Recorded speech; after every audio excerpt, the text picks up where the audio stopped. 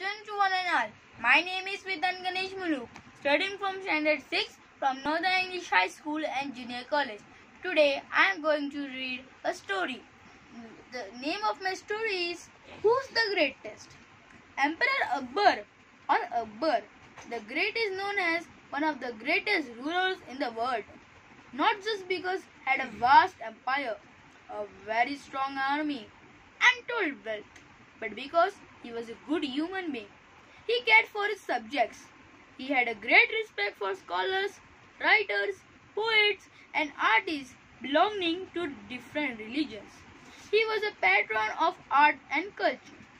The nine gems or Ratnatas in his court were famous. Many people believe that of these nine gems, Birbal was the closest to the emperor's heart. Akbar loved to pose interesting questions or problems in his court, and Birbal never failed to come up with an equally interesting answer. We don't know whether all the Akbar and Birbal stories that we heard today have many bases in history. They have been handed down over generations mainly by word of mouth. Here are two of them. One day, the emperor entered the court with a very serious expression on his face. As soon as he seated, he said, I have a question for all of you. What should be the punishment for someone who pulls my mustache? The court was stunned.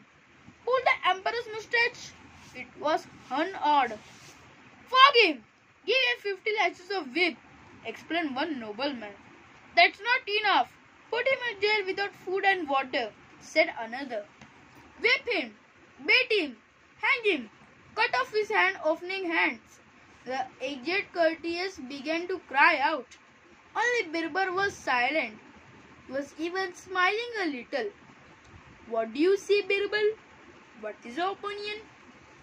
In my opinion, oh grease a piece to the bird, the offender should be given the favorite sweetmeats. Raja Birbal, are you out of your mind? Give sweetmeats for a, such a grave offense? The courtiers began to say.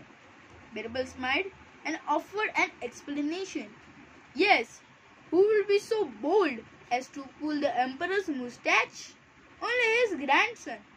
When Akbar heard this, he burst out laughing because that is exactly what had happened in the morning. Thank you.